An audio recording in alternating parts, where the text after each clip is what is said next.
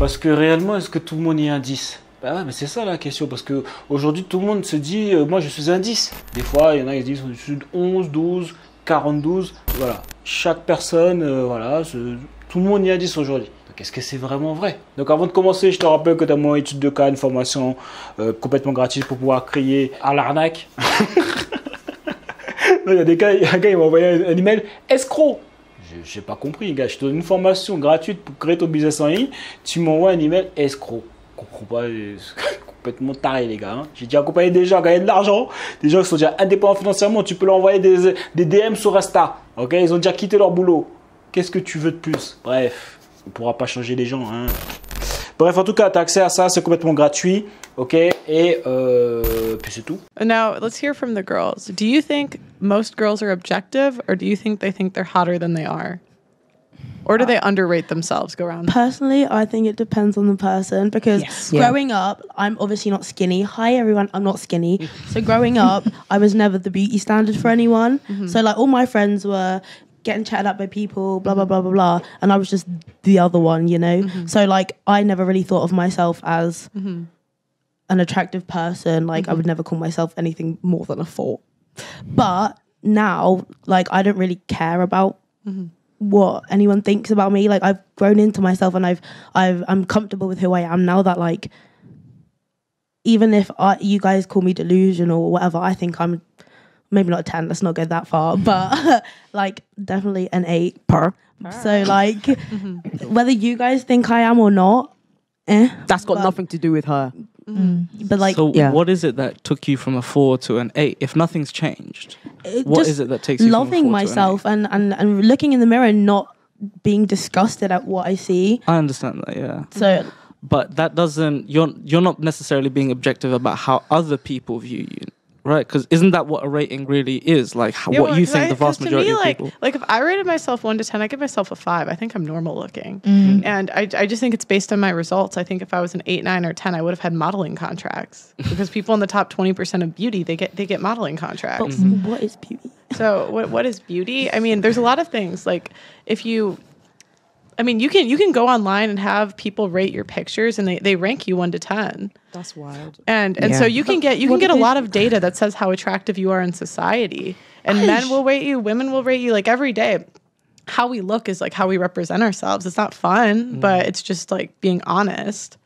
So um and uh, it's also like you can take get dating apps to t- like you know everyone's Tinder, Bumble, like they have a ranking for you behind the scenes. Ah, yeah. Damn. Yeah. Well, I trust. So, um, I don't understand when girls say like I'm an eight because, or sometimes I hear girls say ten. Because I, I hear this a lot where they say like because I love myself and I'm like confident now. But don't you think attractiveness is based on results? They may be, but I don't care about those results. To be honest, But do you think then you're not being objective about your how attractive you are or how attractive anyone else might be? mm, I guess not. Mm. But I yeah, that stuff's not really important to me. Sure, sure, say? yeah, yeah, yeah.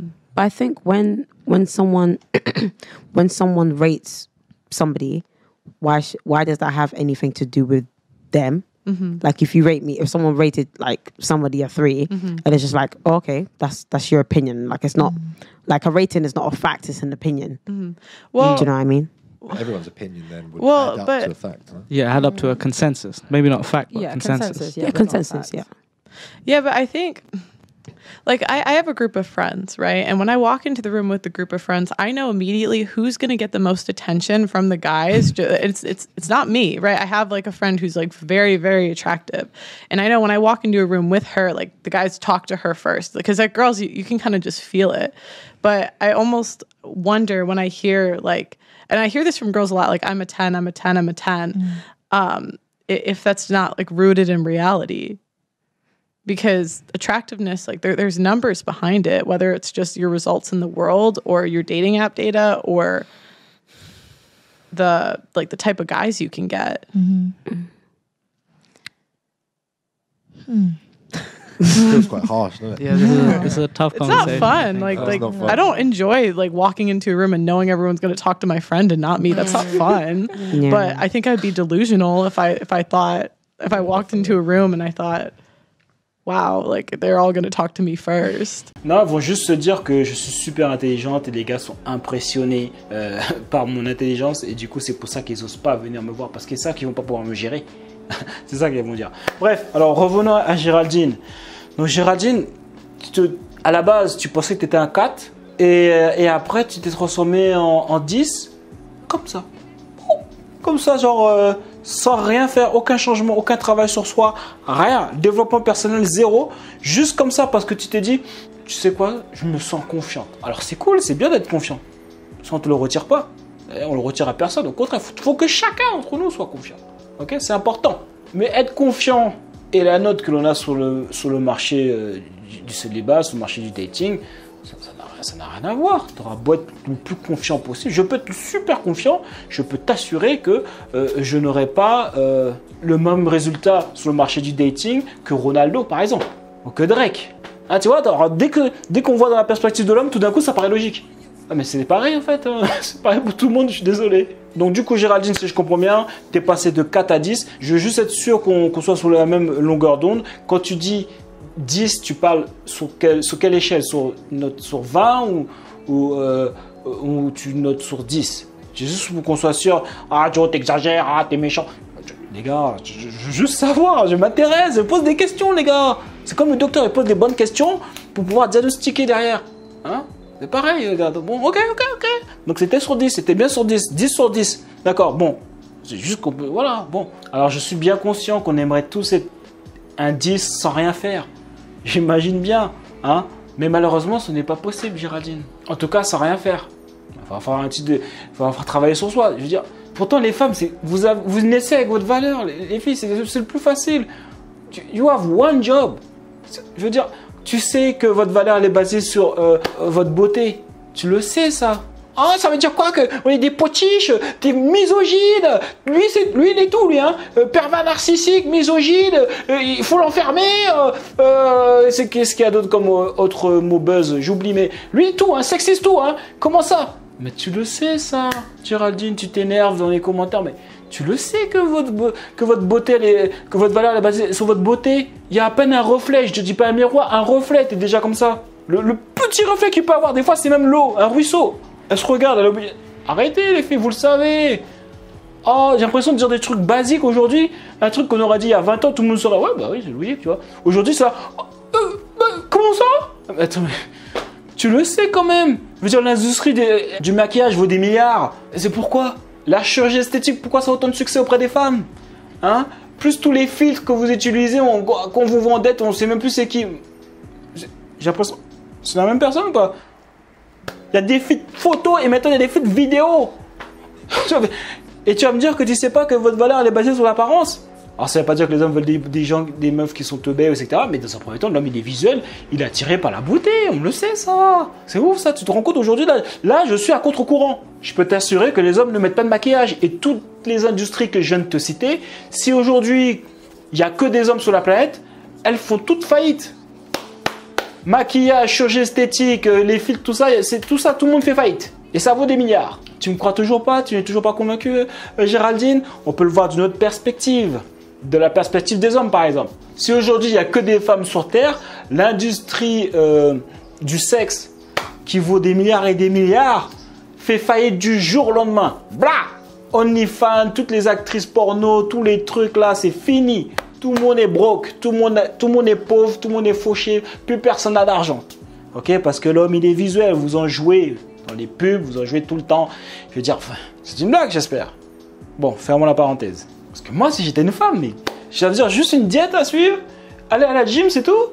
Ça y est, c'est fini. Et je peux gérer un gars, euh, le gars que je veux. Bon, évidemment, on va pouvoir travailler derrière parce que tu vas l'attirer, mais après, il faut le retenir. C'est ça que les meufs, elles comprennent pas. Attirer et après retenir le gars. Hein, c'est pour ça que quand on t'a dit oui, vous êtes le prix, alors oui, tu es le prix dans ta vingtaine, mais après, à 30 ans, ça s'inverse. Hein, c'est pas je suis le prix à vita aeternam. C'est- là qu'elles font l'erreur, les filles. Donc tu- oui, tu l'attires, mais après il faut le retenir. Et là, c'est par rapport à comment tu es, euh, si jamais tu déjà t'es traditionnel, hein, parce que les hommes veulent de moins en moins des femmes modernes. Hein. Pourquoi faire d'ailleurs Pourquoi se marier alors que c'est une institut traditionnel avec une femme moderne Il y a un truc qui va pas. Et en sachant que l'homme est toujours traditionnel, il n'a jamais bougé. évidemment, après, il va falloir euh, travailler sur soi, euh, être agréable, etc. Tous les trucs que vous savez déjà, les filles. Hein, euh, mais à la base, ce qui va l'attirer, c'est le physique, la beauté, Et nous, c'est pareil, en tant qu'homme, ben, on doit se focus sur travailler sur euh, faire de l'argent, avoir du charisme, être capable d'aller approcher euh, une femme sans euh, paraître bizarre, être solide, savoir se battre, procurer une certaine sécurité à sa famille. On a du taf à faire, comme vous les filles. Voilà. Et je trouve que vous, il n'y a pas beaucoup quand même, parce que vous, vous demandez beaucoup pour les hommes. Ok? C'est le game, c'est normal. Mais il serait ridicule aujourd'hui si jamais je disais, euh, moi je suis un 10, euh, au- je suis au même niveau que Ronaldo. Bah non, le gars il a charbonné de ouf pour arriver jusque-là, ça lui a pris des années pour arriver jusque-là. Bah, je- Non, c'est pas parce que j'ai super confiance en moi que d'un coup, euh, voilà. Je sais, en plus je sais parce que même un gars il m'avait dit ça. Ouais, si t'as confiance en toi, euh, non, enfin c'est bien d'avoir confiance, oui, mais c'est pas suffisant. Il y a- la réalité après, hein. Il y a le terre-terre, hein. tu vois ce que je veux dire? Si aujourd'hui je dis je suis un 10 comme Drake, euh, mais non. Toute façon, nous en tant qu'homme, la vie tout de suite te dit si c'est vrai ou pas. Si tu dis des bêtises, bah La vie fait comme ça. Ah ouais, c'est. Excuse-moi la vie, je me suis trompé. C'est vrai, non, c'est pas du tout ça. Ah nous on va le voir direct. Alors, euh, ça, alors ça fait mal direct, mais au moins on sait direct, ok, on a testé le marché, non, tu n'es pas un 10. Hein, de 10, tu le vois direct, tu as des résultats. Si tu es vraiment un 10, les femmes que tu vas gérer déjà elles seront à un, à un certain niveau, c'est logique, tu as plus de choix, puisque tu es un 10. Tu auras plus, d'options, euh, avec des femmes beaucoup plus belles, avec des femmes beaucoup plus agréables. Enfin, tu auras plus d'options, tout simplement, tu vois. Ce qui, j'avoue, pour les femmes, est un peu tricky, ça veut dire un peu genre. euh, c'est un peu, c'est- il y a un petit peu un piège pour les femmes parce que vous, même si vous êtes par exemple des 5 ou des 6, tu peux, tu peux rentrer en intimité, tu peux attirer pour l'intimité en tout cas des hommes qui sont peut-être des 8, des 9. Donc du coup, dans ta tête, tu te dis, ah, je peux avoir accès à ça pour une relation long terme. Et après, tu comprends pas parce que tu n'arrives pas à le retenir. Et tu te dis, mais comment ça se fait que j'arrive pas à le retenir? Les hommes sont complètement tarés, ils savent pas ce qu'ils veulent dans la vie, ils ont peur de s'engager, le peur la peur de l'engagement. Non, c'est juste qu'il sait qu'il peut avoir mieux et qu'il voulait juste du sexe. Donc là, j'avoue, après là, c'est à vous les filles d'avoir euh, l'œil du discernement et voir qui euh, ment ou qui ment pas, ou qui veut vraiment quelque chose ou pas. Donc moi, quand j'entends ça, euh, oui, je suis un 4, mais je me suis transformé en 10 sans rien faire, j'entends juste dans ma tête, ça fait fainéante, fainéante, fainéante, fainéante. Et si c'est un gars, c'est pareil, fainéant, fainéant, fainéant. Tu veux pas travailler sur toi. Tu veux être considéré comme une- un winner ou une winneuse sans rien faire. Voilà. C'est-à-dire même mes copines qui vont à la salle de sport, toutes les Géraldines là, qui mettent leurs fesses euh, euh, dehors et qui s'entraînent comme ça dans la salle de sport pour pouvoir mettre des TikTok, je- suis au moins obligé de leur donner le crédit qu'elles font attention à ce qu'elles mangent, elles prennent soin de leur corps, euh, elles essaient d'être fraîches. Voilà, on peut pas te mettre au même niveau, elles font les efforts, tu n'en fais pas. La vie c'est pas comme ça. Mais pareil, si jamais tu renverses ce truc et tu le prends dans la perception d'un homme, ce sera une évidence. Hein, T'imagines un gars qui est en surpoids, qui n'a pas de travail, euh, qui n'a pas confiance en lui, qui n'a aucun charisme et qui habite chez ses parents. Bon, euh, si lui, euh, il dit ouais, moi je, suis un 10 en disant ça devant un film porno, bon, ben, tu- la vie va lui mettre une gifle et moi derrière, c'est possible que je lui mette le revers. Bah, c'est logique. C'est c'est une gifle pédagogique. Hein, voilà. hein. Tout ça dans le cadre euh, des conventions. hein. Donc alors, la question avec un grand Q, voilà, pour ceux qui ont la référence, c'est cadeau. Euh, Qu'est-ce que la beauté? Est-ce que c'est une construction sociale? Parce que c'est vrai, quand vous vous lavé le cerveau, euh, vous croyez que les bonasses, c'est des bonasses. Non C'est pas vrai. Vous croyez que les meufs belles, c'est des meufs belles? Non Vous pensez que les filles qui sont fraîches, c'est parce qu'elles sont fraîches? Non C'est une construction sociale. On vous a lavé le cerveau. Alors voilà, ça c'est l'argument. Alors, il y a une fille en plus qui m'avait dit ça. J'avais une conversation avec une, meuf. Bon, je savais que ça ira pas bien loin, donc je me suis permis de faire un petit échange de débat. hein. Euh, et elle m'a dit non, mais c'est une construction sociale, etc. Moi, dès que j'entends des meufs parler comme ça, dans ma tête, fainéante, fainéante, fainéante, je veux rien faire. Fainéante, fainéante, je veux me faire encore un effort. Mais si je fais un changement, c'est pour moi. Et le pire, c'est qu'elles n'innovent pas sur les arguments.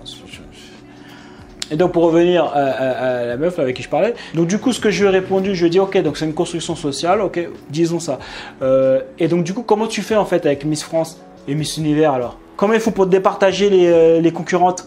C'est basé sur leur beauté là Ah Ah Ah T'avais pas pensé à ça hein? T'avais pas pensé à ça? Euh, Oui elles sont- départagées en fonction plus la plus belle. Voilà.